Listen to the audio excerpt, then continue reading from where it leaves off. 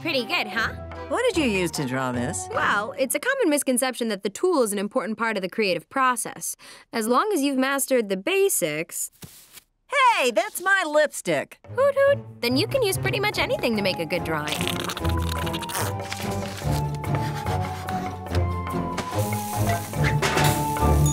Yep, with practice and study, you can make fine art out of anything. Yeah, yeah. I mostly asked because I left a cursed pencil lying around here somewhere and.